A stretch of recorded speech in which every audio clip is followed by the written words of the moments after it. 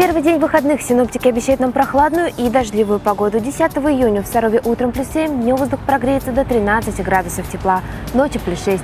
Ветер северо-западный 2-4 метра в секунду, атмосферное давление 743 миллиметра ртутного столба. В Нижнем Новгороде переменная облачность, утром плюс 8, днем столбики термометров поднимутся до плюс 14, ночью плюс 5. Ветер северо-западный до 5 метров в секунду, атмосферное давление 750 миллиметров ртутного столба. Столице в течение дня ожидаются дожди. Утром плюс 11, днем до 13 градусов тепла, ночью плюс 6. Ветер северо-западный до 3 метров в секунду, атмосферное давление 744 миллиметра ртутного столба. И помните, какой бы ни была погода, она всегда по-своему прекрасна.